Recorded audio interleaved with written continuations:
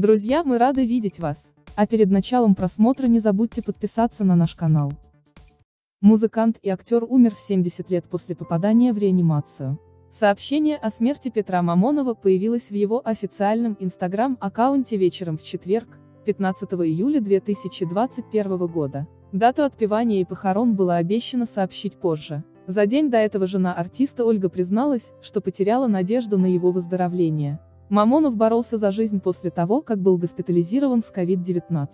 После погружения в кому у него начался сепсис, привести в сознание артиста врачам не удалось. Режиссер Павел Лунгин заявил, что современники не сумели по достоинству оценить талант Мамонова. Петр был до конца непонятый. Передает Арти. Актер Сергей Газаров вспомнил, что артист был очень плодотворным, сотворял звуки, идеи из ничего, широкой аудитории Петр Мамонов запомнился по фильму «Остров», а также творчеству рок-группы «Звуки Му», которую он основал. Незадолго до смерти ему был присвоен Орден Дружбы указом президента РФ. Но артист об этом не узнал, так как уже находился в беспамятстве.